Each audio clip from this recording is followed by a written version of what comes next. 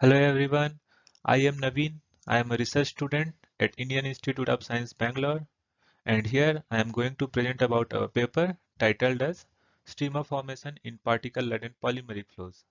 This paper is authored by Navin, that is me, Dr. Ranajay Ghosh and my research advisor Dr. Aloke Kumar. This paper have been submitted as a part of technical paper publication in ICNMM 2020. Since the title of this presentation starts with the word streamer, let us first look at what it means and how it is formed. So, streamers are nothing but a thin, slender and string-like flexible structure formed by irreversible aggregation of colloidal particles. These colloidal streamers was first reported by Debnath and co-authors. They found that when a particle-laden polymeric fluid is allowed to flow in a suitable microchannel, then particle aggregates in form of thin string-like flexible structures with one end tethered at micropillar's wall and other end floating in the background flow. They name these structures as streamers inspired by a morphologically similar structure found in bacteria-laden flows through a porous media or a microchannel. Although it was already known that particle can align reversibly in a particle-laden viscoelastic flows, but Streamer represents an irreversible and permanent aggregation of particles. That is, once streamers are formed, they remain intact and do not show disintegration in the experimental timescale, even when the flow is stopped. The first image here shows the SEM image of the microchannel used by Debnath and co-authors. Second image here shows the microscopic image of the streamer formed in their microchannel. And this third image here shows the SEM image of microchannel after the streamer formation experiment. Here, even in the absence of flow, we can see a streamer connecting two pillars. Now coming to the question how streamers are formed. It is suggested that mechanism of polymeric bridging governs the phenomenon of streamer formation. According to this mechanism, a single long chain polymer molecule can adsorb on two or more particles and act as a bridge to draw them together, as shown in this schematic here. Such successive bridging leads to flocculation of particles, which upon subsequent shearing gives streamers. This system of particle-laden polymeric fluid is encountered in many practical situations. Just to name a few of them, for example, in treatment of wastewater from pulp and paper mill industries, handling of drilling fluids, manufacturing of polymer nanocomposites, and pharmaceutical applications. And there are many more. Despite their wide occurrence, the mechanism of polymeric bridging is not completely understood and is a current topic of research. Objective of the present work is to study the effect of two parameters. First is hydrodynamic condition and second is polymer to particle concentration ratio on the morphology of streamers. To fulfill this objective, we have designed an experimental system as shown in this schematic diagram. It is a simple Taylor-Couette geometry with a stationary outer cylinder of diameter 6.5 cm and a rotating inner rod. Hydrodynamic conditions are altered by changing the rotational speed of this rod. Also, a stationary needle of diameter 0.15 mm is provided here in this annular region. This acts as a tethering platform for the streamers. A DSLR camera is placed in front of the needle to record the events happening around the needle. Particle-laden polymeric fluid is kept in this annular region and preparation of this experimental fluid is not very straightforward. To prepare our experimental fluid, particle suspension and polymer solution were prepared separately. We have used gram flour as the particles and polyethylene oxide that is PEO as the polymer. Finally, a known volume of these two solutions were mixed with 200 ml of DI water to get the experimental fluid of desired concentration ratio. Another interesting finding of the present work is that streamer formation occurs only when PEO stock solution is allowed to age for around 15 days. freshly prepared PEO solution does not show streamer formation. Here I am going to show experimental observation for a particular data point when concentration ratio is 1.25 and rod is rotating at 200 rpm which corresponds to a Reynolds number of around 3 and Deborah number of around 0.5. Reynolds number is calculated based on needle diameter as shown in this expression here. Here rho is the density of the fluid, u is the azimuthal velocity of fluid at a radial location where needle is located, d is the needle diameter and mu is the dynamic viscosity of the experimental fluid.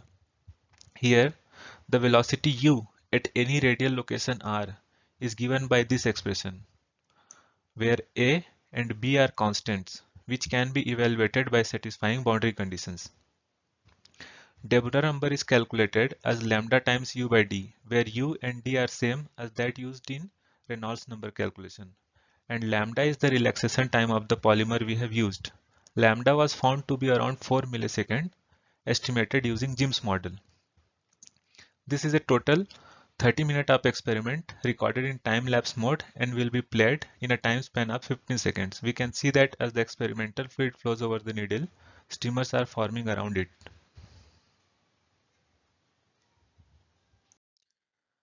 Experiments have been performed for a total of 25 data points with concentration ratio ranging from 0 to 2.5 and RPM of the rod ranging from 100 RPM to 800 RPM which corresponds to Reynolds number ranging from 1 to 11 and Deborah number ranging from 0.2 to 2. Each data point is a 30 minute of experiment this time scale was enough to ensure that no further significant change in morphology of streamer was observed. Based on the visual observation of morphology obtained after 30 minutes of experiment, we have decided four regimes. First is the absence of streamer formation. Then second is the type 1 streamers. These streamers are long but they are sparsely distributed along the length of the needle. Then we have type 2 streamers.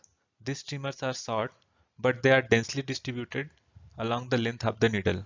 And finally, we have type 3 streamer, which are sufficiently long as well as they are densely distributed along the length of the needle. These regimes are assigned red, blue, yellow and green symbols as shown in the inset of respective figure. Using this definition, we have collated the results of all data points in the form of a streamer formation state diagram. This is our streamer formation state diagram. Here we have Deborah number on x-axis and concentration ratio on the y-axis. Colored regions are shown to identify the four regimes. We can see that no streamer forms in the absence of polymers, that is, when concentration ratio is zero.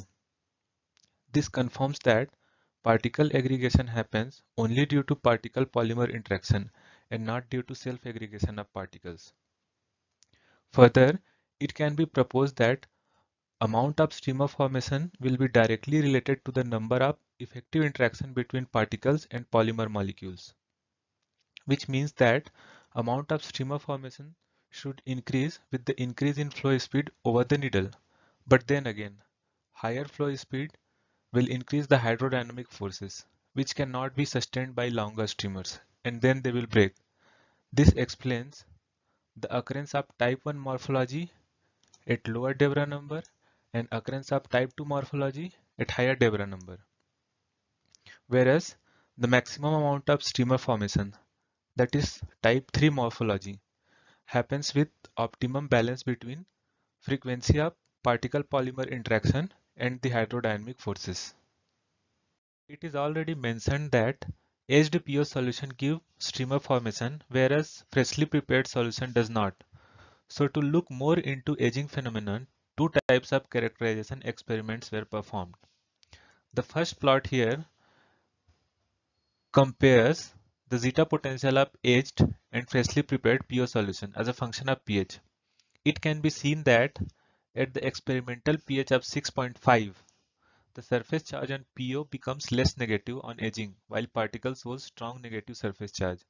This supports our observation that aging of polymeric solutions would favor polymeric bridging. The second plot here compares the viscosity of aged and freshly prepared PEO solution with concentration 0.5% by weight in water as a function of shear rate. It can be seen that the zero shear viscosity decreases on aging. Some literature suggests that it happens due to the conformational changes in polymeric molecules on aging. They shift from coiled conformation towards stretched conformation and stretch conformation of polymer also favors the polymeric bridging.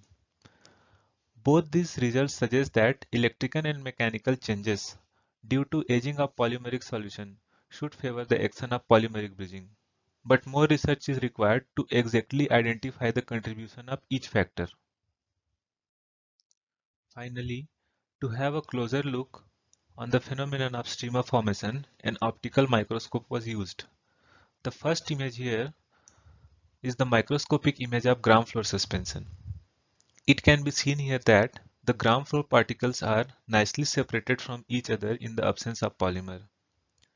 The second image here is the microscopic image of the needle taken out carefully just after the streamer formation experiment.